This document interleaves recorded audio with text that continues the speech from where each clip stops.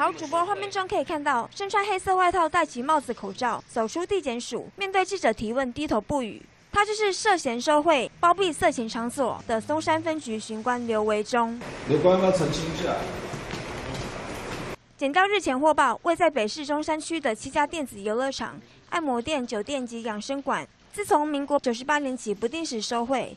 原本在中山分局中山二派出所的刘维忠远警，一百一十年刘远警调任中山分局后，疑似持续收受贿赂及包庇赌场、色情场所等等。检调同时也查出北市某议员前任办公室主任及现任助理的涉案。北检十五号指挥调查局搜索机动工作站、北市警察局等等七十处，包括刘姓远警的办公室及住处。检调约谈刘姓远警及涉案多人，共三十六名到案。